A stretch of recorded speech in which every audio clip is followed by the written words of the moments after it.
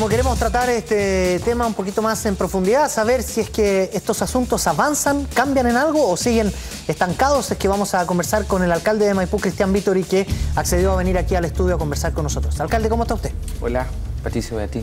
Buenas noches. ¿Cómo está, alcalde? Alcalde, escuchando a la gente, que, que escuchábamos ahí unos testimonios de alguien que reclamaba por el estacionamiento, pero luego hay otra opinión donde dice eh, funciona apenas al 30% de su capacidad.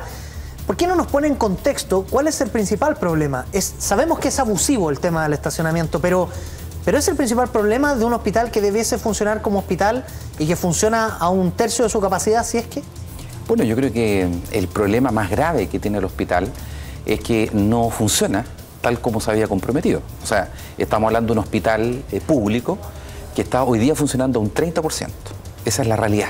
Estamos con una urgencia que funciona y de 27 especialidades médicas que debieran estar operativas, solo hay funcionando 12. De las 354 camas que tiene el hospital, solo están operativas 160 eh, de ellas. De distintas eh, pabellones que estaba destinado al hospital para atender, entre aquellos, como señala la, nuestra vecina de maternidad, no funciona. O sea, tenemos un hospital que tal como decía ella, es una especie de elefante blanco, vale decir, un hospital precioso, una gran infraestructura, un gran equipamiento, pero que no da la atención para lo cual fue construida porque no existe el personal médico suficiente en cantidad para que el hospital pueda funcionar.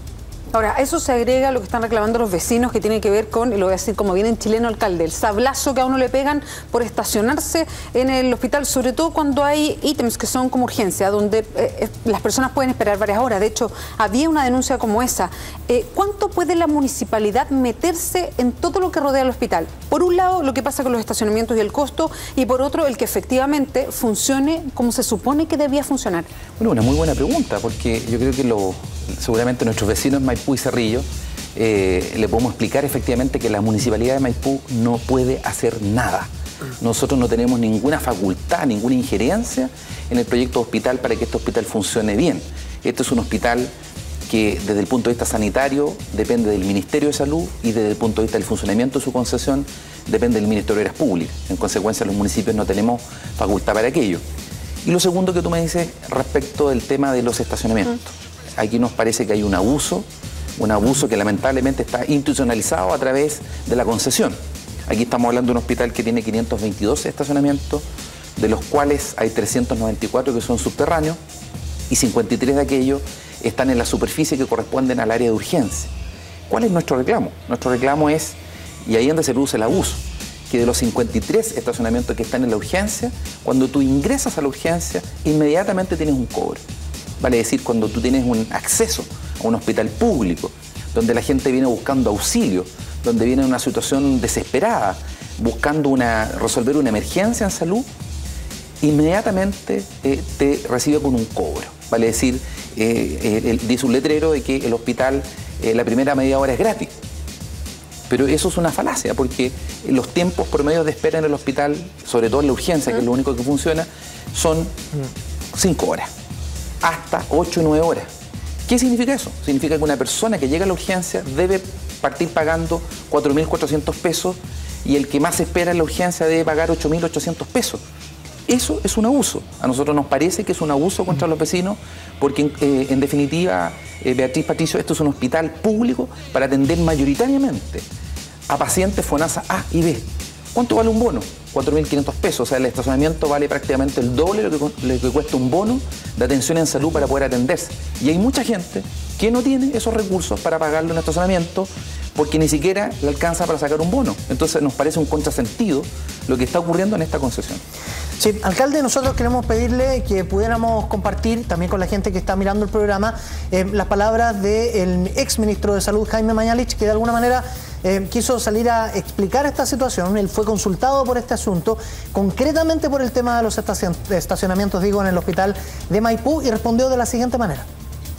El contrato, según recuerdo, que se hizo con las concesionarias respectivas, se le entrega, el, concesionario está entre, obligado a entregar 440 estacionamientos de los 700 creo que son, libres de cargo para el uso de los pacientes. ¿Qué es lo que está pasando hoy día?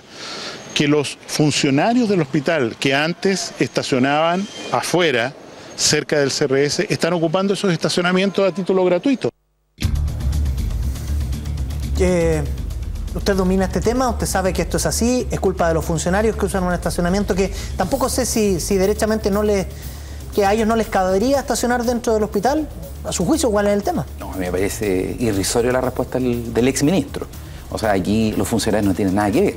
Aquí hay una administración de una concesión, porque, para, que, para que la gente en la casa nos entienda.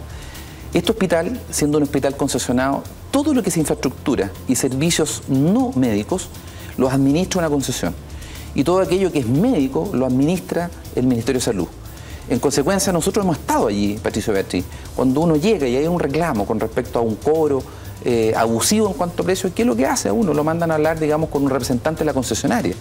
Eh, y, es, y eso no es porque los funcionarios estén ocupando los estacionamientos. O sea, de pero hay 400 estacionamientos que se supone que son gratuitos, no, como dice el ministro. Estos no son gratuitos. O sea, eh, es cosa de ir a verlos, están puestos los lecheros. La, mañana el equipo que estuvo también del canal pudo constatar efectivamente que eran todos los estacionamientos subterráneos como los de superficie son pagados. O sea, yo mismo el fin de semana me estacioné y por estar un poquito más de media hora tuve que pagar 1.100 pesos. O sea, yo descarto de plano lo que está diciendo el ministro. Eso no es así. Estos son estacionamientos que se pagan y es cosa de pararse un rato en nuestro hospital para darse cuenta precisamente del abuso y de la impotencia que siente mucha gente cuando llega buscando atención, fuera de no recibirla, más encima tiene que cancelar por un estacionamiento. ¿Usted se arrepiente, y aquí mirando para atrás, se arrepiente de haberle dado la venia a este hospital para que funcionara? Bueno, yo aquí mismo, mm. con usted lo dije Beatriz, aquí eh, uno empeña, digamos, la palabra, aquí está en, cuestión la credibilidad y la buena fe. Cuando una autoridad ministerial, un ministro de Estado, te dice que esto se va a cumplir, yo no tengo por qué dudar que esa palabra se va a cumplir. Lamentablemente los hechos duros de la causa han demostrado que lo que se dijo en algún instante, lamentablemente no se cumplió. Y eso es una cuestión que yo te digo, yo estoy revisando la, prensa, yo tengo aquí, aquí tengo, puedo mostrar una, una, fotocopia de un diario, donde incluso aquí se aseguraba, el, está el ministro, con dos ministros de Estado, donde se aseguraba que este hospital se iba a entregar en enero del 2013. Se entregó un año después, un año después, de, ¿qué es lo que dijo el ministro? Un año después. Dijo, el gobierno anterior nunca se tomó en serio las concesiones.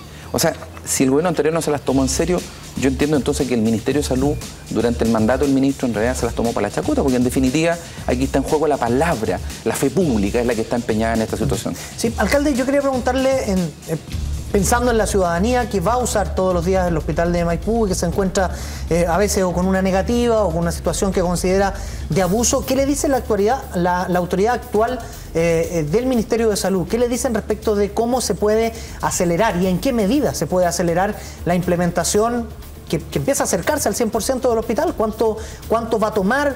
¿Qué esfuerzo le va a demandar al, gobierno? yo creo que hay dos cosas. Primero, yo creo que está claro, yo creo que la comunidad ya tiene claro dónde están las responsabilidades por los atrasos y la falta de implementación.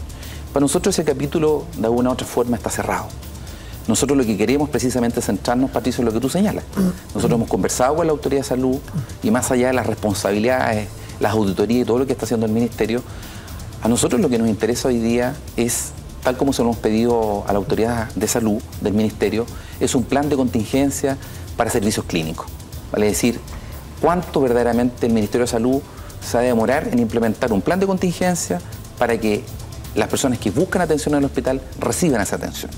Y que el Ministerio además pueda transparentar de una vez por todas la situación que vive el Hospital de Maipú. ¿Pero ellos se han comprometido a entregarle ese plan en eso, plazo? Hace 15 días atrás conversamos con el director de servicio, ellos se comprometieron durante este mes a entregarnos efectivamente un plan transparentando cuál es la situación que enfrenta el hospital y cuándo efectivamente va a poder recibir atención.